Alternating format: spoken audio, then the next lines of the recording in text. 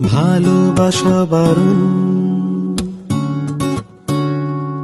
কাছে আসা বারণ।